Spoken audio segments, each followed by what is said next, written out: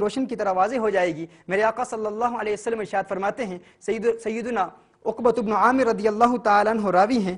رسالت مآب صلی اللہ علیہ وسلم ارشاد فرماتے ہیں کہ اگر تو، اگر آپ کسی ایسے فرد کو دیکھیں جس پر اللہ عز و جل عطاؤں کی برسات بھی کر رہا ہے، اللہ عز و جل اسے عطا بھی کر رہا ہے، اور وہ گناہوں کا سلسلہ بھی جاری رکھے ہوئے ہے۔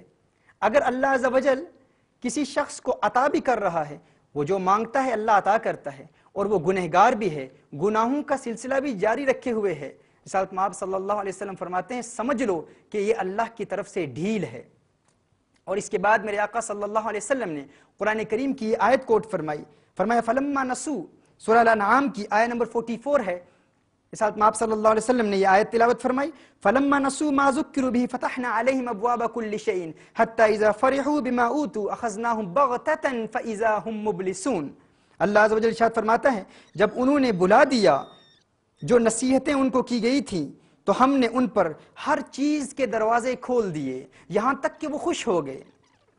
یعنی جب لوگ اللہ کو بھول جاتے ہیں، احکام دین کو بھول جاتے ہیں، حرام اور حلال کے مابین امتیاز نہیں کرتے، گناہوں کا ارتکاب کرتے چلے جاتے ہیں تو وہ اللہ سے اتنے دور ہو جاتے ہیں کہ ایک وقت آتا ہے کہ اللہ فرماتا ہے کہ ہم ان کے لیے دروازے کھول دیتے ہیں عطاؤں کے دروازے کھول دیتے ہیں۔ وہ جو چاہتا ہے اسے ملتا ہے۔ اسے ایک اچھی گاڑی چاہیے مل جائے گی اچھا بنگلہ چاہیے مل جائے گا اچھا مکان چاہیے مل جائے گا، کاروبار میں ترقی چاہیے مل جائے گی۔ اللہ عز و جل عطاؤں کی ایسی برسات فرماتا ہے۔ فرمایا، یہاں تک کہ وہ خوش ہو جاتے ہیں۔ پھر فرمایا، فَإِذَا هُم مُبْلِسُونَ۔ أَخَذْنَاهُمْ بَغْتَةً فَإِذَا هُم مُبْلِسُونَ۔ اور پھر اچانک ایک وقت آتا ہے کہ ہم ان کو پکڑ لیتے ہیں۔ ہم ان کو پکڑ لیتے ہیں اور پھر ان کے لیے امید کی کوئی کرن نظر نہیں آتی۔ پھر ان کی آس ٹوٹ جاتی ہے۔ امید ٹوٹ جاتی ہے کیونکہ پھر توبہ کا موقع ان کے لیے انہیں زندگی میں میسر نہیں آتا۔ لیکن ناظرین کرام، یہ شیطان کا ایک بہت بڑا وسوسہ ہوتا ہے۔ وہ ہمیں تسلیاں دیتا ہے کہ تیرا رب تجھ سے راضی ہے۔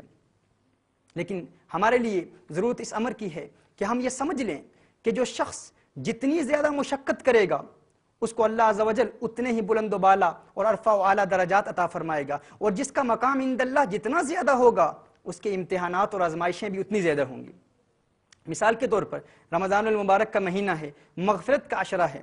ہم دیکھتے ہیں کہ بے شمار لوگ ایسے ہیں جو رمضان المبارک میں صبح روزہ رکھتے ہیں، فجر کی نماز ادا کر کے سو جاتے ہیں۔ اور وہ سمجھتے ہیں کہ ظہر تک اگر سوئے رہیں تو انہیں بھی ویسا ہی ثواب ملے گا۔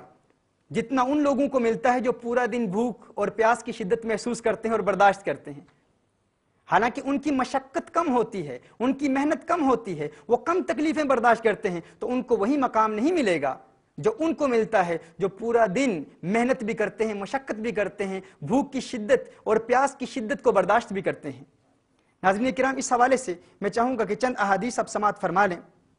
حضرت ابو موسیٰ رضی اللہ تعالیٰ عنہ کو ایک سمندری جہاد کے دوران حاطف غیب سے آواز آئی کہ اللہ عز و جل نے اپنے ذمہ کرم پر لے لیا ہے کہ جو شدید گرمی کے دن اپنے آپ کو اللہ کے لیے پیاسا رکھے، اللہ عز و جل اسے سخت پیاس والے دن یعنی بروز قیامت سیراب کرے گا۔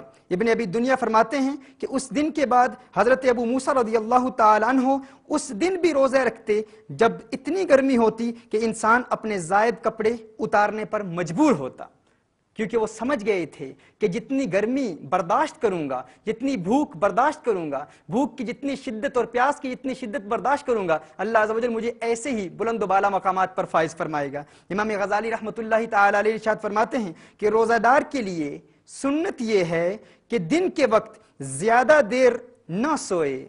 بلکہ جاگتا رہے تاکہ بھوک اور ضعف کا اثر محسوس ہو۔ کیونکہ جتنی زیادہ بھوک محسوس ہوگی، جتنی زیادہ کمزوری کو وہ برداشت کرے گا، اللہ عز و جل اسے رمضان المبارک کی اتنی ہی بلند و بالا اور عرفہ و اعلیٰ برکات سے نوازے گا۔ حضرت ابراہیم بن ادھم رحمۃ اللہ تعالی علیہ فرماتے ہیں، دنیا میں جو نیک عمل جتنا دشوار ہوگا، قیامت کے روز نیکیوں کے پلڑے میں اتنا ہی زیادہ وزندار ہوگا۔ یعنی ہم جتنی محنت کریں گے، اللہ عز و جل اتنا ہی بلند و بالا مقام عطا فرمائے گا۔ وہ لوگ جو پورا دن سوئے رہتے ہیں، عبادت نہیں کرتے، محنت نہیں کرتے، اللہ کو یاد نہیں کرتے، اور وہ سمجھتے ہیں کہ ان کا روزہ مقبول ہے۔ یقیناً روزے کا فرض تو ادا ہو جاتا ہے، فرضیت تو ادا ہو جاتی ہے، لیکن وہ اللہ عز و جل کی اس نعمت عظمہ سے محروم ہو جاتے ہیں، جو رمضان المبارک میں مزمر ہے۔